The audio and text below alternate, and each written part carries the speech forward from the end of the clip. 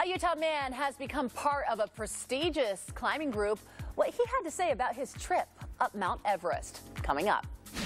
You're watching Fox 13 News. Let's connect.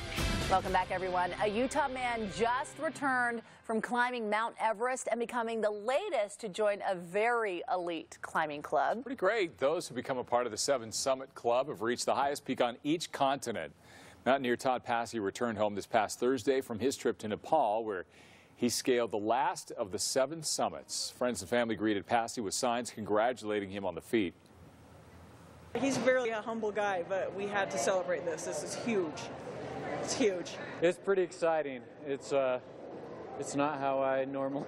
I mean, it's kind of embarrassing too, but I'm excited to see everybody. Passey owns his own mountain guide company. In three weeks, he'll travel to Russia to climb Mount Elbrus again. He must like that one. After hiking and climbing in some of the most spectacular mountains on Earth, though, Passey says his favorite is still the Wasatch Range here. Wow, home sweet home. Not quite as Mm-hmm. Like difficult as Mount Everest, some of our It mountains. depends on the day, I suppose. I guess so. Big Buddha.